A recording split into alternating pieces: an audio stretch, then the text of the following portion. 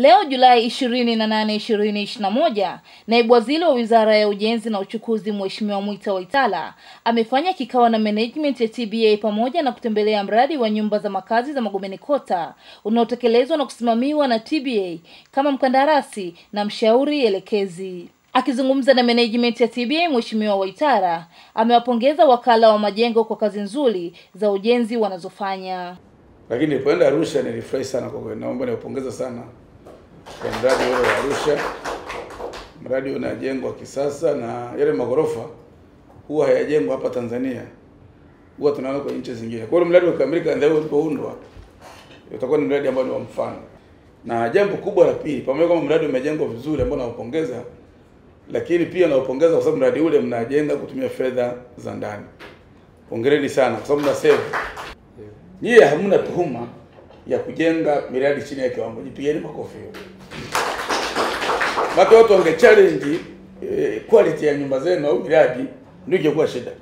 Tungeweza kuhoji hivi mhandisi anasoma uhandisi wa namna gani? Na mimi nilipokuja kwenye wizara hii mwanzoni nilikuwa nawachukia sana. Nataka niseme ukweli. Maka sitaki changa changa. nilikuwa nawachukia sana. Sasa unakuta mimi kwenye halmashauri kule nafanya ziara nikiwa TAMISEMI, mradi umekuwa. Sasa sina maelezo. Sasa miradi ikichelewa, ilitakiwa nyie mtoe elimu. Yaani ndio mseme bila kuogopa. Mtu ajue kwamba kwenye halmashauri fulani kwa nini mradi umechelewa. Eh, sio usiposema ule mzigo wote wa lawama. Yaani jengo limekaa miaka mitano.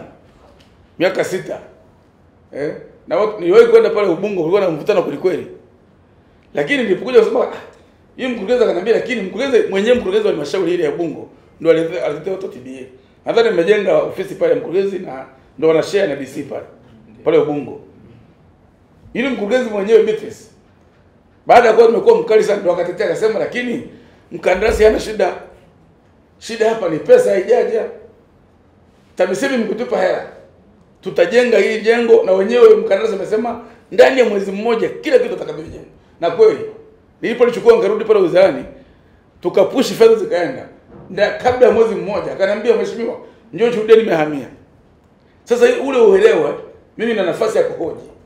Wananchi wengine hawana nafasi ya kuhoji.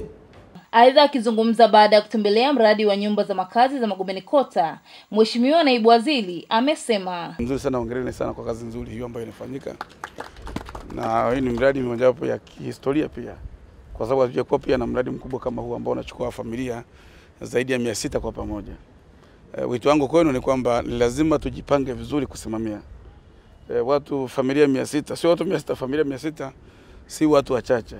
Tumeingia kwenye vyumba pale, kuna robots pale watakuwa na matumizi, kuna bado miundombinu humu, kuna kuna umeme, kuna maji. Kwa hiyo inahitajika kwa kweli kuwa na jicho moja kwa moja katika eneo hilo, hasa baada ya watu kuhamia, lakini pia swala la usimamizi na awareness ya watu wenyewe. Kwa hiyo nitafikiri kwamba kabla ya watu kuingia hapa, kwanza ni kujua ni akina nani wanaingia, lakini pia na serikali za mitaa hapa, kwa maana ya manispaa, mkoa, ofisi ya TAMISEMI na, la wanani, na watu wenyewe kabla ya kuingia ni vizuri sasa wapewe maelekezo ya kitaalamu namna ambavyo watapaswa kutunza jengo ili likae kwa muda mrefu zaidi.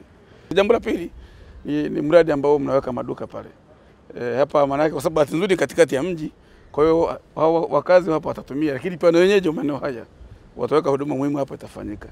Kubwa zaidi nataka niwapongeza sana ni kutambua kundi mahususi, kundi kubwa la e, watu wa kawaida, wafanyabiashara wa kawaida, muhimu sana machinga.